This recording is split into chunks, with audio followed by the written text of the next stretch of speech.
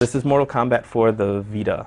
Uh, we really wanted to kind of make a customized version of Mortal Kombat, which uh, was really, really successful for us. Uh, a lot of people really uh, liked the game a lot, and we wanted to make a version of the game that was customized specifically for the Vita.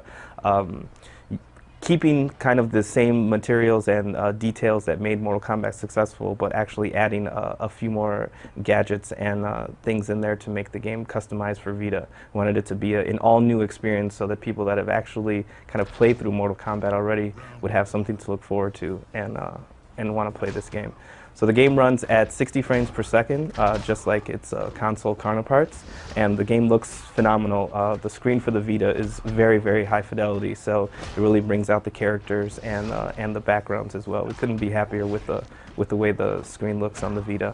Um, the backgrounds and the characters are, are very similar to the uh, to the console versions of the games. We wanted to keep uh, the personality of the characters and the personality of the backgrounds intact for these. So you'll notice that some of the some of the same kind of design elements that we had for the backgrounds in Mortal Kombat are included for Mortal Kombat for the for the Vita as well. Um, one of the things that we wanted to make for this game as well is to make it a little bit more um, more accessible. Uh, you know, the Vita is going to bring in a lot more casual fans that might not have the uh, the hardcore kind of uh, fighting game mentality that uh, that a lot of our audience for the console games were. Uh, so one of the ways that we were able to do that was to add the touchscreen fatalities. And uh, it kind of uh, brings the, the coolest part of Mortal Kombat, which is kind of uh, doing a fatality, but makes it easier by letting you uh, do the inputs by swiping the gestures on the screen. So for this version of the game, we have all of the characters plus the uh, DLC characters that were available for Mortal Kombat. Um, we have Freddy, uh, Skarlet, Kenshi, Rain, and we also have Kratos, so it's the entire full Mortal Kombat roster. Uh, we also have an additional 16 costumes that weren't available in the console versions of the game that were made exclusively for Vita, including alternate costumes for the DLC characters.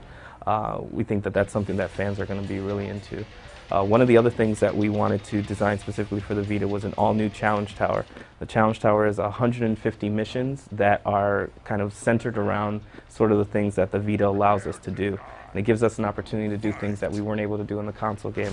First mission in uh, the new bonus challenge tower, you get to play as Shao Kahn, which was something that fans were really asking for uh, in the in the last game. So we kind of wanted to open really big uh, with our with our bonus challenge tower. So your first mission is you actually play as Shao Kahn trying to beat Raiden, and um, there's an example of kind of the um, the X-ray touchscreen, even though Brian missed it.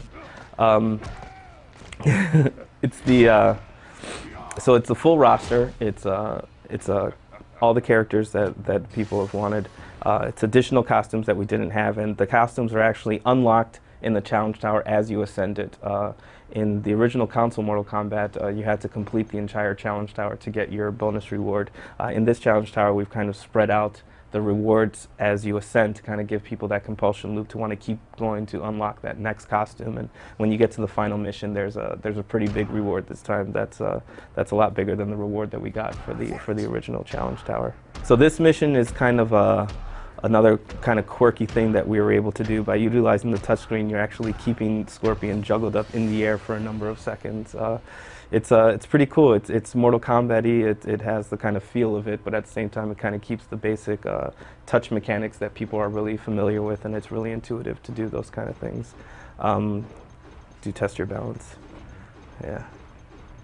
One of the other things that people have always liked about Mortal Kombat is kind of our, our test your missions. You know, we have Test Your Sight, we have Test Your Might, we have Test Your Strike. Uh, we wanted to make a, a, couple of versions that were exclusive to the Vita, and one of those things that we're talking about now is Test, test Your Balance. Uh, you know, for some reason, somebody sadistically decided that they would have you balancing on a platform above a pit that has a, a bunch of numerous death traps in there.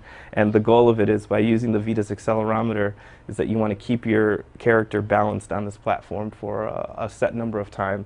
Um, different missions have different objectives.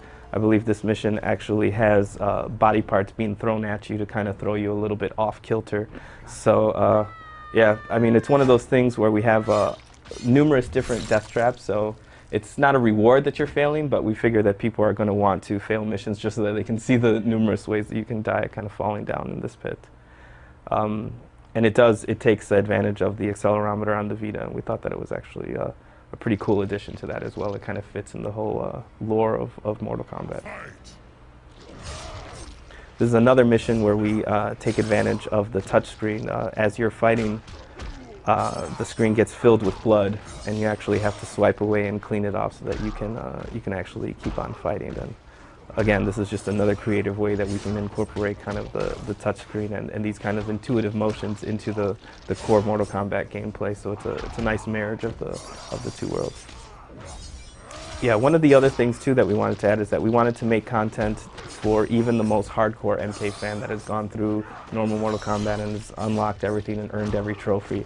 Uh, we actually switched some of the trophies around so there's new trophies for people to add, uh, for people to earn in gameplay, and we've also added new art into the crypt that has never been seen before. So we have a, a lot of concept art for the DLC characters that just wasn't created when the uh, console version of Mortal Kombat came out. So there's a little bit something uh, for everybody, and even the most hardcore fan is going to find something to uh, to look for in this game. We are keeping this game on par with the console version of the game. So we're using um, the tweak variable system that we have in place with the console version of Mortal Kombat. So when that gets updated, this version will be updated as well. That way, people who have both versions of it can practice out their combos and they'll translate over to the console version as well. We wanted to, to keep them kind of the same so that it was, uh, it was the same game. We feel, you know, a lot of the more hardcore players are probably going to go around and have this to train and, you know, while they're taking the bus to school or, or whatever, and then they can come home and knock somebody out on the, on the Big Brother version of it. So uh,